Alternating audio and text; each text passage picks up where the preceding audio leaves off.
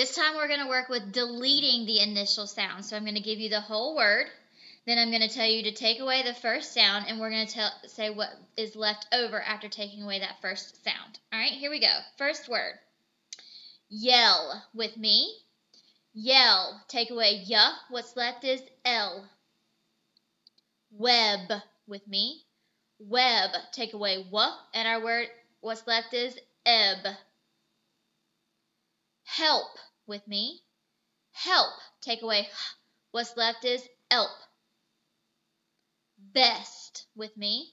Best. Take away b. What's left is est. Sent with me. Sent. Take away s. What's left is ent. Lend with me. Lend. Take away l. What's left is end. Met with me. Met. Take away m. What's left is et. Red with me.